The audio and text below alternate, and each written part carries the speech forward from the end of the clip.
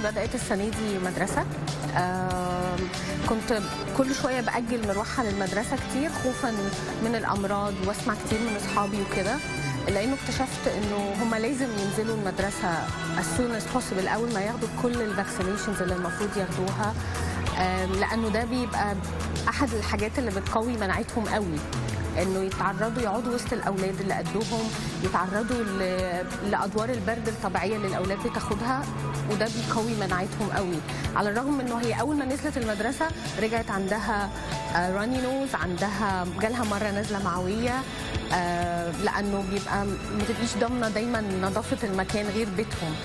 ف دي كانت الحاجات اللي واجهتهم بس أنا شايفة إن ده هيبقى أحد الأسباب اللي هتبقى مناعتها فيه قوية إنها تتعرض لل...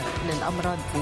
لما سألت زمان بالنسبة لبنتي الكبيرة هي عمرها سنتين دلوقتي سألت إنه آه إيه الحاجات اللي ممكن تعزز المناعة؟ أنا مقتنعة شخصيا إنه إنه المناعة عشان تزيد لازم آه الولاد يتعرضوا يروحوا بحر ينزلوا يقابلوا ناس يخرجوا كتير من البيت.